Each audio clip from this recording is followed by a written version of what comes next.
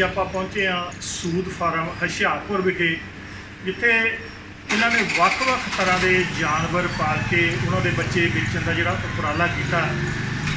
ਅਸੀਂ ਗੱਲ ਕੀਤੀ ਆ ਇੱਥੋਂ ਦੇ ਆਰਗੇਨਾਈਜ਼ਰ ਨਾਲ, ਜਿਨ੍ਹਾਂ ਨੇ ਸਾਨੂੰ ਦੱਸਿਆ ਕਿ ਉਹ ਫਾਰਮ ਵੀ ਦਿਖਾਇਆ ਤੇ ਇਸ ਸੰਬੰਧੀ ਗੱਲ ਵੀ ਕੀਤੀ ਹੈ ਜਿਹੜੀ ਵੀ ਚੀਜ਼ ਤੁਸੀਂ ਚਾਹੁੰਦੇ ਹੋ ਪੰਜਾਬ ਦੇ ਵਿੱਚ ਜੋ ਗਵਰਨਮੈਂਟ ਦੇ ਹਿਸਾਬ ਦੇ ਨਾਲ ਵੇਚੀ ਜਾ ਸਕਦੀ ਹੈ ਜਾਂ ਭਾਰਤ ਸਰਕਾਰ ਦੇ ਹਿਸਾਬ ਦੇ ਨਾਲ ਵੇਚੀ ਜਾ ਸਕਦੀ ਹੈ, ਉਹ ਸੂਦ ਫਾਰਮ ਹੁਸ਼ਿਆਰਪੁਰ ਤੋਂ ਤੁਹਾਨੂੰ ਮਿਲ ਸਕਦੀ ਹੈ। ਤੁਸੀਂ ਜਦੋਂ ਮਰਜ਼ੀ ਆ ਕੇ 24 ਘੰਟੇ ਇਹਨਾਂ ਦਾ ਫਾਰਮ ਖੁੱਲਾ ਰਹਿੰਦਾ ਹੈ ਔਰ ਵਿਜ਼ਿਟ ਕਰਨੀ, ਜਦੋਂ ਤੁਸੀਂ ਇੱਥੇ ਵਿਜ਼ਿਟ ਕਰਨੀ ਹੈ ਤੇ ਇਹਨਾਂ ਦਾ ਜਿਹੜਾ ਫਾਰਮ ਹੈ ਪ੍ਰਾਈਵੇਟ ਜ਼ੂ ਹੈ ਜਿਹੜੀ, ਉਹ ਬਿਲਕੁਲ ਮੁਫਤ ਉਹ ਪਾਸ ਦਿੱਤਾ ਜਾਂਦਾ, ਕੋਈ ਪੈਸਾ ਨਹੀਂ ਲਿਆ ਜਾਂਦਾ, ਕਿਸੇ ਵੀ ਤਰੀਕੇ ਦਾ ਕੋਈ ਜਾਨਵਰ ਦਿਖਾਉਣ ਦਾ ਕੋਈ ਪੈਸਾ ਨਹੀਂ ਲਿਆ ਜਾਂਦਾ। ਤੁਸੀਂ ਜਦੋਂ ਮਰਜ਼ੀ ਆਓ, ਇੱਥੇ ਆ ਕੇ ਜਾਨਵਰ ਦੇਖੋ ਔਰ ਇਹਨਾਂ ਜਾਨਵਰਾਂ ਦੇ ਬੱਚੇ, ਜਿਵੇਂ ਕਿ ਛੋਟੇ ਕੁੱਤੇ ਤੋਂ ਲੈ ਕੇ ਵੱਡੇ ਕੁੱਤੇ ਤੱਕ, ਚਿੜੀਆਂ ਮੱਛੀਆਂ ਜਾਂ ਅਕੇਰੀਅਮ ਵਗੈਰਾ ਜਾਂ ਹੈਚਰੀ ਇਹਨਾਂ ਨੇ ਖੁਦ ਦੀ ਆਪਣੀ ਹੈਚਰੀ ਲਾਈ ਹੋਈ ਜਿੱਥੇ ਬੱਚੇ ਕੱਢ ਕੇ ਇਹ ਤਿਆਰ ਕਰਦੇ ਨੇ ਔਰ ਸੇਲ ਕਰਦੇ ਨੇ। ਆਓ ਤੁਹਾਡੀ ਗੱਲ ਕਰਾਂਦੇ ਆ ਸੂਦ ਫਾਰਮ ਦੇ ਮਾਲਕ ਦੇ ਨਾਲ। ਅਭੀ ਸੂਜੀ ਤੁਸੀਂ ਇੱਕ ਡਿਫਰੈਂਟ ਕੰਮ ਕਰ ਰਹੇ ਹੋ ਜਿਸ ਤਰੀਕੇ ਲੋਕ ਪੈਲਸ ਖੋਲਦੇ ਆ ਸਕੂਲ ਬਣਾਉਂਦੇ ਆ। ਤੁਸੀਂ ਉਹਨਾਂ ਸਾਰੀਆਂ ਚੀਜ਼ਾਂ ਤੋਂ ਹਟ ਕੇ ਇੱਕ ਕੰਮ ਕਰ ਰਹੇ ਹੋ ਤੁਸੀਂ ਉਹ ਕਿਹੜਾ ਕੰਮ ਕਰ ਰਹੇ ਹੋ? ਪਹਿਲਾਂ ਤਾਂ ਸਤਿ ਸ਼੍ਰੀ ਅਕਾਲ ਸਾਰੇ ਵੀਰਾਂ ਨੂੰ ਸਾਰੇ ਮੇਰੇ ਜਿੰਨੇ ਵੀ ਮੈਨੂੰ ਦੇਖ ਰਹੇ ਜਿਹੜੇ ਮੇਰੇ ਮੈਂਬਰ ਸਾਰੇ ਸਤਿ ਸ਼੍ਰੀ ਅਕਾਲ ਜੀ। ਹਾਂਜੀ ਭਾਈ ਸਾਨੂੰ ਮੈਨੂੰ ਸ਼ੁਰੂ ਤੋਂ ਸ਼ੌਂਕ ਸੀਗਾ ਲਾਈਫ ਸਟਾਕ ਦਾ। ਇਸ ਕਰਕੇ ਮੈਂ ਫਿਰ ਥੋੜਾ ਜਿਹਾ ਇੱਧਰ ਧਿਆਨ ਦਿੱਤਾ ਹੈਗਾ। ਜਿੰਨੇ ਵੀ ਆਪਾਂ ਇੱਥੇ ਹੁਣ ਆਪਣੇ ਫਾਰਮ ਤੇ ਜਾਨਵਰ ਰੱਖੇ ਹੋਏ ਆ, ਇਹਨੂੰ ਹੌਲੀ ਹੌਲੀ ਆਪਾਂ ਵਧਾ ਕੇ ਇੱਕ ਚਿੜੀਆ ਘਰ ਪ੍ਰਾਈਵੇਟ ਆਪਣਾ ਚਿੜੀਆ ਘਰ ਬਣਾਤਾ ਹੋਇਆ ਇੱਥੇ। ਔਰ ਬਿਲਕੁਲ ਫ੍ਰੀ ਰੱਖਿਆ ਹੋਇਆ, ਜਿਹੜਾ ਮਰਜ਼ੀ ਆ ਕੇ ਇੱਥੇ ਘੁੰਮ ਸਕਦਾ, ਦੇਖ ਸਕਦਾ ਇਹਨੂੰ। ਬਿਲਕੁਲ ਫ੍ਰੀ ਹੈ, ਹੁਸ਼ਿਆਰਪੁਰ ਦੇ ਵਿੱਚ ਇਹ ਚਿੜੀਆ ਘਰ ਸਾਡਾ। ਔਰ ਹਰੇਕ, ਮੈਂ ਵਧੀਆ ਤੋਂ ਵਧੀਆ ਜਾਨਵਰ ਇੱਥੇ ਰੱਖੇ ਹੋਏ ਆ, ਲੋਕਾਂ ਨੂੰ ਦਿਖਾਉਣ ਲਈ। ਇਹ ਸਿਰਫ ਤੁਸੀਂ ਸ਼ੌਕ ਜਿਹੜਾ ਦਿਖਾਉਣ ਦੇ ਲਈ ਆ, ਜਾਂ ਕਿ ਇਹਨਾਂ ਨੂੰ ਵੇਚਦੇ ਵੀ ਹੋ, ਜਾਂ ਕਿ ਇਹਨਾਂ ਦੇ ਬੱਚੇ ਵਗੈਰਾ ਵੇਚਦੇ ਹੋ ਜਿਹੜੇ ਜਾਨਵਰ ਰੱਖੇ? ਐਦਾਂ ਹੀ ਸ਼ੌਂਕ ਹੈ ਸ਼ੌਂਕ ਤੋਂ ਬਾਅਦ ਆਪਾਂ ਫਿਰ ਇਹਦਾ ਖਰਚਾ ਵੀ ਤੁਹਾਨੂੰ ਪਤਾ ਇੰਨਾ ਕੱਢਣਾ ਪੈਂਦਾ, ਇਸ ਕਰਕੇ ਮੈਂ ਫਿਰ ਹੈਚਿੰਗ ਮਸ਼ੀਨਾਂ ਵੀ ਲਾਈਆਂ, ਜਿੰਨੇ ਤੁਸੀਂ ਐਨੀਮਲਸ ਮੇਰੇ ਕੋਲ ਦੇਖੇ ਆ, ਬਤਕਾ ਟਰਕੀ ਕਬੂਤਰ, ਜੋ ਵੀ ਆ ਜਾਨਵਰ ਆਪਣੇ ਕੋਲ ਹੈ ਨਾ ਜੀ, ਉਹਨਾਂ ਦੇ ਆਪਾਂ ਮਸ਼ੀਨਾਂ 'ਚੋਂ ਬੱਚੇ ਕਢਾਉਂਦੇ ਆ, ਬੱਚੇ ਕਢਾ ਕੇ ਆਪਾਂ ਸੇਲ ਕਰਦੇ। ਬਾਕੀ ਆਪਾਂ ਬਰੀਡਿੰਗ ਪੇਅਰ ਰੱਖੇ ਹੋਏ ਆਪਣੇ ਫਾਰਮ ਤੇ ਦਿਖਾਉਣ ਲਈ ਵੀ, ਤਾਂ ਬਰੀਡਿੰਗ ਲਈ ਵੀ। ਸਿਰਫ ਚਾਹੇ ਉਹ ਕੁੱਤਿਆਂ ਦੇ ਹੋ ਜਾਣ ਬੱਚੇ ਜਾਂ।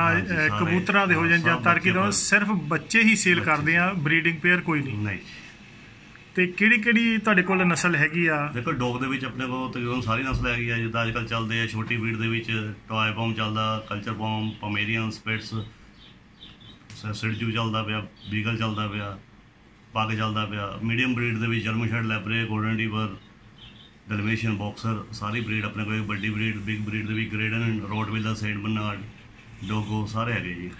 ਐਟ ਅਵੇਲੇਬਲ ਹੁੰਦੇ ਆ? ਬਿਲਕੁਲ ਜੀ ਬਿਲਕੁਲ ਜਦੋਂ ਮਰਜ਼ੀ ਆਓ ਆਪਣੇ ਕੋਲ ਹਾਜ਼ਰ ਹੁੰਦੇ ਆ ਜੀ ਬੱਚੇ। ਇੱਕ ਆਪਣਾ ਫੋਨ ਨੰਬਰ ਦੱਸਿਓ ਇਹਦੇ। ਮੇਰਾ ਫੋਨ ਨੰਬਰ ਹੈਗਾ 9876059040 ਤੇ ਇਹਦੇ ਵਿੱਚ ਕੀ ਕੀ ਤੁਸੀਂ ਪ੍ਰਾਪਤੀਆਂ ਕੀਤੀਆਂ? ਕੋਈ ਸਰਕਾਰ ਦੀ ਵੀ ਦੇਣ ਹੈ ਇਸ ਨੂੰ ਵਧਾਉਣ ਦੇ ਲਈ ਕਿ ਨਹੀਂ? ਨਹੀਂ ਸਰਕਾਰ ਦੀ ਤਾਂ ਹੱਲੇ ਕੋਈ ਨਹੀਂ। ਆਪਣੇ ਆਪਾਂ ਲੈਵਲ ਤੇ ਕੀਤਾ ਹੋਇਆ ਜੀ ਆਪਣੇ ਕਿਉਂਕਿ ਸਾਡਾ ਸ਼ੌਂਕ ਸੀ ਸ਼ੁਰੂ ਤੋਂ ਰੱਖੇ ਸੀ ਆਪਾਂ ਜਾਨਵਰ। ਸਾਡੀ ਫੈਮਿਲੀ ਨੇ ਉਸ ਨੂੰ ਆਪਾਂ ਅੱਗੇ ਅੱਗੇ ਬਰੀਡਿੰਗ ਕਰਾ ਕੇ ਵਧਾਉਂਦੇ ਰਹੇ ਆ। ਬਾਕੀ ਜਿੱਥੇ ਸਾਨੂੰ ਕੋਈ ਨਵੀਂ ਚੀਜ਼ ਮਿਲਦੀ ਆ, ਆਪਾਂ ਨੂੰ ਲਿਆ ਕੇ ਆਪਣੇ ਫਾਰਮ ਤੇ ਰੱਖਦੇ ਆ। ਜਿੱਦਾਂ ਤੁਸੀਂ ਦੇਖੇ ਜਾਨਵਰ ਮੇ ਕੋਈ ਇਮੋ ਹੈਗੇ, ਪਹਿਲਾਂ ਇਮੋ ਫਾਰਮ ਖੁੱਲੇ ਸੀ, ਬੰਦ ਹੋ ਗਏ ਹੈ ਨਾ ਕੋਈ ਗਵਰਨਮੈਂਟ ਨੇ ਉਹਨਾਂ ਨੂੰ ਕੋਈ ਫੈਸਿਲਿਟੀ ਦਿੱਤੀ ਨਹੀਂ ਇੰਨੀ, ਉਹ ਬੰਦ ਹੋ ਗਏ ਫਾਰਮ ਤਾਂ ਅਸੀਂ ਆਪਣੇ ਸ਼ੌਂਕ ਲਈ ਰੱਖਿਆ, ਉਹਦੀ ਬਰੀਡਿੰਗ ਕਰਾ ਲਈ ਹੈਗੀ। ਤਾਂ ਬੱਚੇ ਵੇਚ ਦਿੰਦੇ ਆ, ਬਾਕੀ ਟਰਕੀ ਆ, ਬਤਕਾਂ, ਕਬੂਤਰ ਹੈ ਖਰਗੋਸ਼ ਹੈ ਗਿੰਨੀ ਪਿਗ, ਸਾਰੇ ਜਾਨਵਰ ਐ ਨੇ ਬਸ ਸਾਰੇ ਮੇਰੇ ਕੋਲ ਹੈਗੇ ਆ ਟੋਟਲ ਅੱਜ ਕੱਲ ਜਿਹੜਾ ਨਵਾਂ ਸ਼ੌਕ ਚੱਲ ਰਿਹਾ ਘਰਾਂ ਦੇ ਵਿੱਚ ਛੋਟੇ ਜਾਨਵਰ ਪਾਲਣ ਦਾ ਚਿੜੀਆਂ ਜਿਨ੍ਹਾਂ ਨੂੰ ਆਪਾਂ ਕਹਿੰਦੇ ਜਾਂ ਇੰਪੋਰਟਡ ਤੋਤੇ।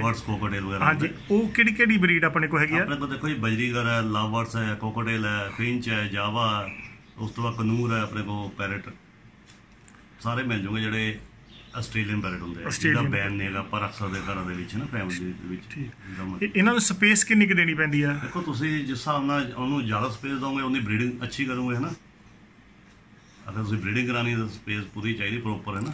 ਤਿੰਨ ਚਾਰ ਇੱਕ ਨਾ ਦੇਖਣ ਦੇ ਵਿੱਚ ਕਈ ਵਾਰੀ ਆਇਆ ਕਿ ਜਿਹੜੇ ਛੋਟੇ ਜਾਨਵਰ ਆ ਉਹ ਪੇਅਰ ਬਣਾ ਕੇ ਏਦਾਂ ਹੀ ਦੇ ਦਿੰਦੇ ਪਰ ਉਹ ਪੇਅਰ ਨਹੀਂ ਹੁੰਦਾ। ਜੋ ਫਿਰ ਗਲਤ ਕਹਿ ਕੇ ਦੇ ਦਿੰਦੇ ਨਾ। ਮੇਲ ਫੀਮੇਲ ਦੀ ਪਹਿਚਾਣ ਹੋਣੀ ਚਾਹੀਦੀ ਨਾ ਜਿਹੜਾ ਹੁਣ ਬਰੀਡਰ ਹੁੰਦੇ ਜਿੱਦਾਂ ਅਸੀਂ ਹੈਗੇ ਆ ਇੰਨੇ ਚਿਰ ਤੋਂ ਕੰਮ ਕਰਦੇ 35 40 ਸਾਲ ਤੋਂ ਹੈ ਨਾ ਸਾਨੂੰ ਪਹਿਚਾਣ ਹੈਗੀ ਆ ਕਿ ਮੇਲ ਫੀਮੇਲ ਕਿਹੜਾ ਹੁੰਦਾ।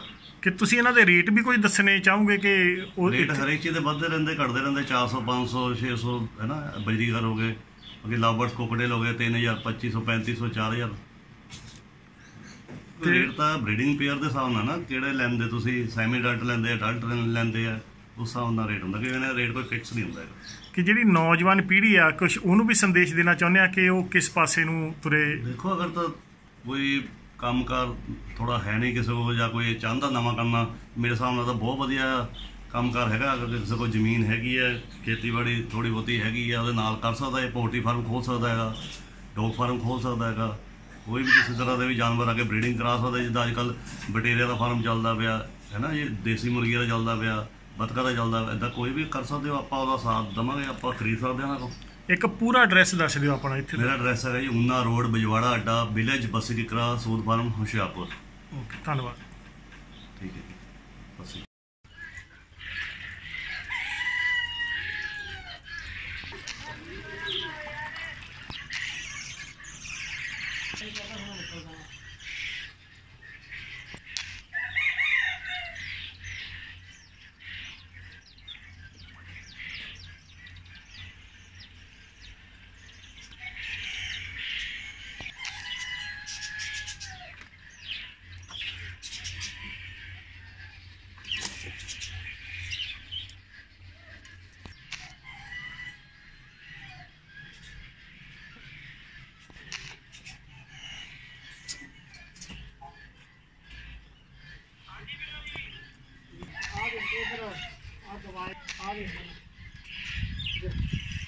ਹੈਲੋ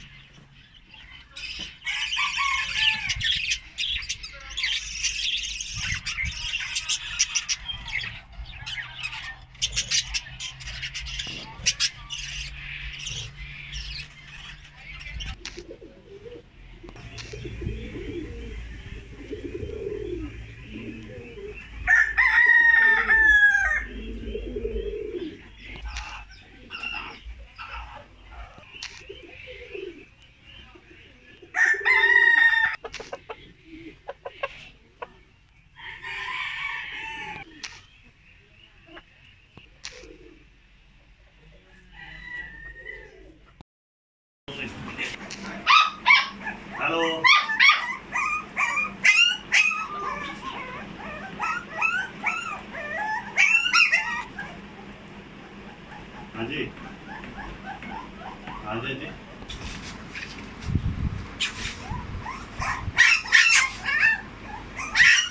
ਇਹ ਸਟਾਰਟ ਹੈ ਵੀ ਬਾਅਦ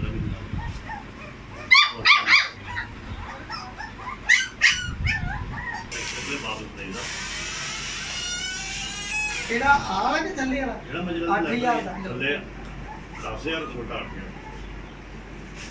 ਆ ਗਿਆ ਬਲੈਕ ਮਿਲਣਾ ਇਹ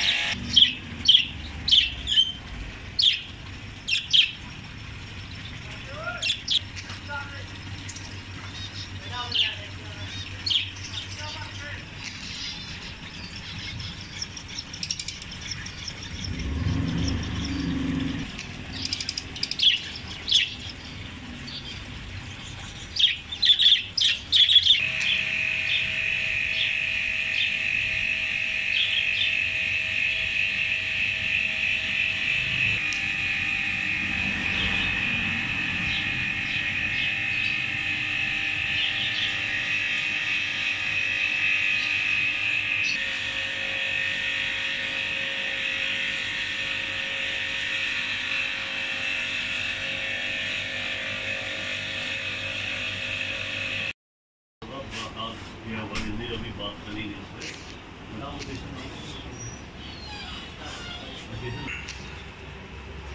We are more there.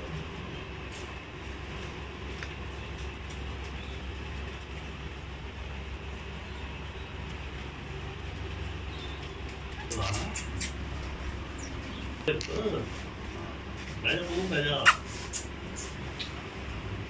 ਆ ਰਿਹਾ ਹਾਂ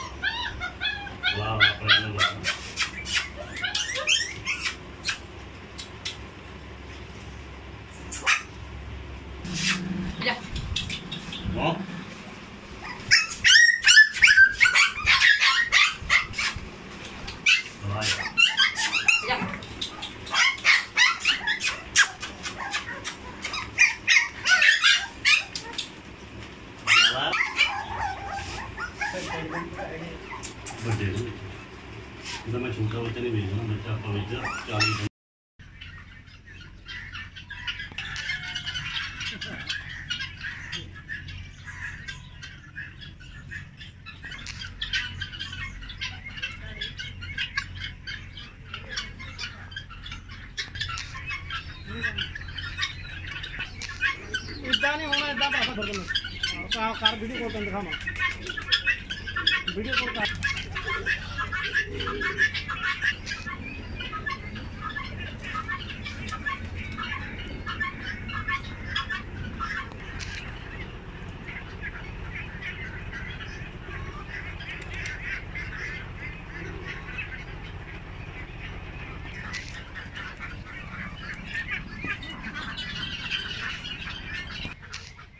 ਇਹ ਆਂਡੇ ਆ ਜੀ। ਇਹਨਾਂ ਦੇ।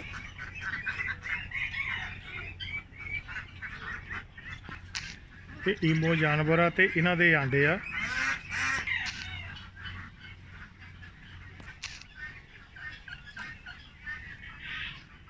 ਇਹ ਤਰਕੀ।